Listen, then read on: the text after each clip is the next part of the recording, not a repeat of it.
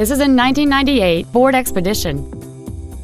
It has a 5.4 liter, 8 cylinder engine and an automatic transmission.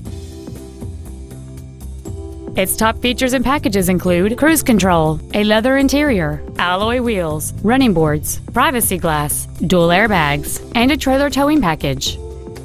This vehicle is sure to sell fast. Call and arrange your test drive today.